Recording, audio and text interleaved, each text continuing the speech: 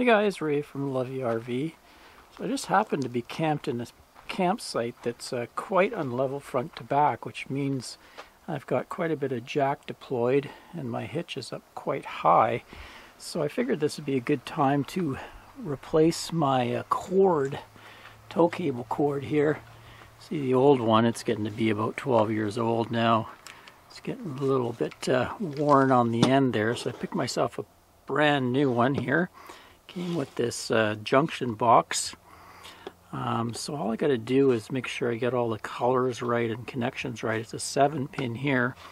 I've gone through and had a look and measured things. So white will be my ground, black will be my 12 volt charge line.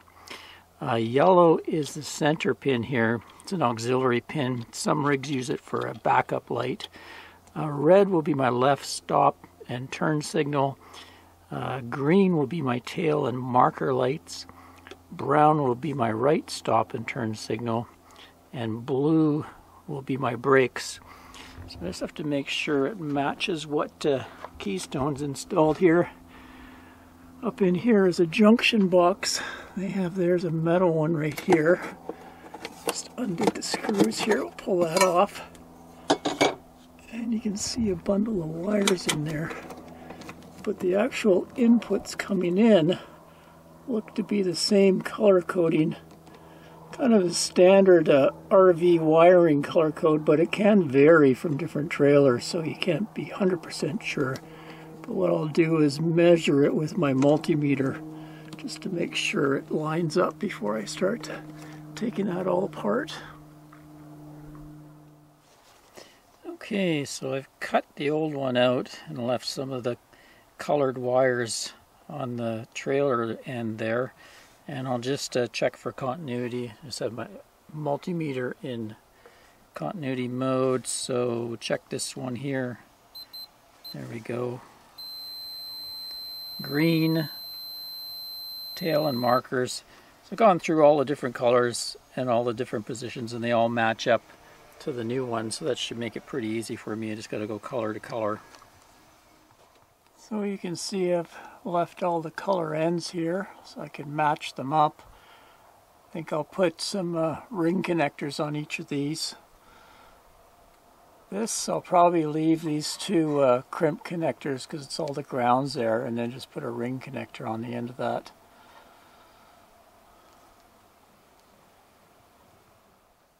So for the connection I'm just using some ring connectors. Got a Klein's tool crimper here. Makes it pretty easy. A good crimp on it. And attach it to the screws of the new uh, junction box. Okay, there we go. Screwed it up where the other junction box was. That's actually the floor under the bed in the storage compartment. There's some boarding. That's what it screws into. Added a bit of a strain relief over there just in case I uh, pull on the cable. Kit came with rubber grommets and uh, end caps too, plugs, which is nice.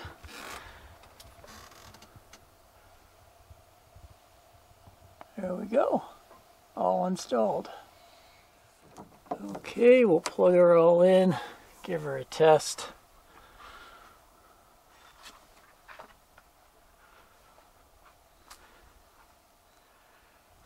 Looks like she's good.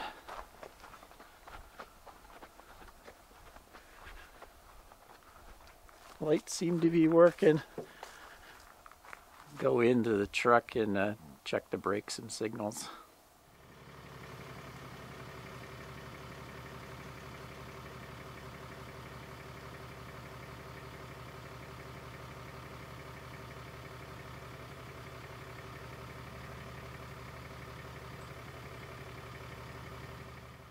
Next I'll do a check of the breakaway switch. So if you you become disconnected from the, the trailer, this thing is supposed to pull out. There's a lanyard.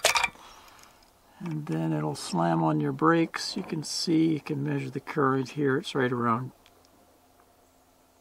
12 amps. It's about 3 amps per brake. So that's working right. I replaced it a couple years ago, so it's still in pretty good shape. There we go.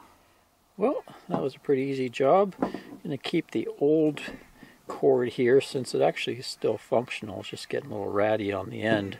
Use it as a backup in case the other one gets damaged. Um, you can see here there's some epoxy there. That was a repair I did to it a couple years ago when the, the, the coating was starting to pull away and expose the wires. So I was able to push it back in and use some epoxy there and it worked out really well. Also this little thing here is a little gadget I've made up for uh, turning the marker lights on without the truck hooked up. Some people like to do that in a campground or whatever. So I'll just show you where you, where I place that on the cord. It's on these top two pins. You can see the keyway here. So you've got your 12 volt uh, power that's coming off the RV battery right there. And then the other pin here is the marker light circuit or running light circuit. So this is just a fuse for protection. I have a 5 amp fuse in there and I can just plug that in. Some people will just wedge a fuse in there or they'll get another uh, like socket, the female socket and wire the same deal in. Just makes it easy. Then you can uh, have your marker lights on. See there at the top, top markers are on. So all the running lights are lit up. Just a little trick some people like to use to light up the campground around them. Anyway, hoping this video might help you out if you're having to change your 7-pin cord. Until next time, Ray from loveyourRV.com. Cheers, everyone.